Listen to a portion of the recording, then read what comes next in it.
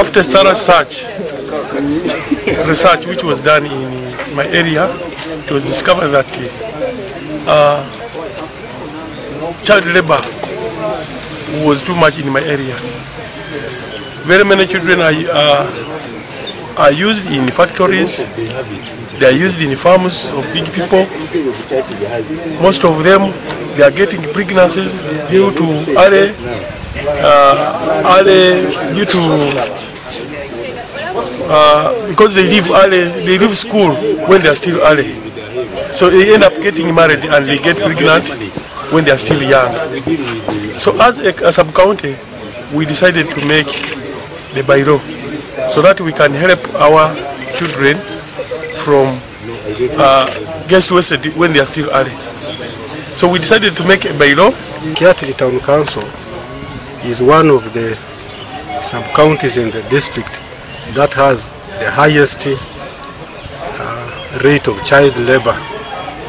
Uh, in Kyatiri, uh, young children are engaged in activities like sand quarry, maize shelling, uh, maize loading, and many others, and also sugarcane production as cane cutters and loaders. Since today we have uh, ECLA in place that has helped us approve the bylaw, we believe that this challenge, this vice of child labor in Kyatiri is going to be handled up to the... It is a very big problem in Masindi and surrounding districts. It is a violation of children's rights. Uh, we are saying that many children are not completing the cycle of education up to primary seven. Uh, many children are enrolled in uh, primary, but by the time they reach primary seven, many have dropped out, and many of them are involved in child labor.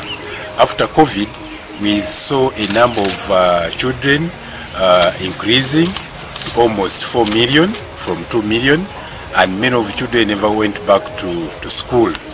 So with the, our partner, the IRO, we're able to come up with the CAPSA project, which is looking at uh, child labor, forced labor, trafficking of, trafficking of persons, and uh, uh, acceptable conditions of work in this uh, district. Success of the implementation depends on you.